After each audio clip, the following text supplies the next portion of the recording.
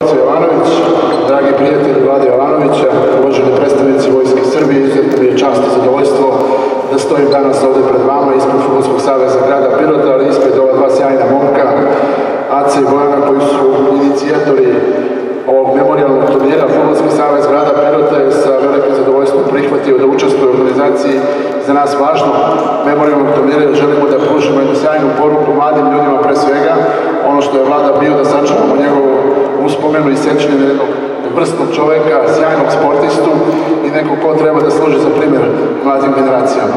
Verujemo da će ovaj turnir postati tradicionalni i da ćemo svake godine se okupljati. Danas je puno emocija u ovoj hali bilo i zaista, kao što kaže poruka, Vlada će živjeti u našim srcima.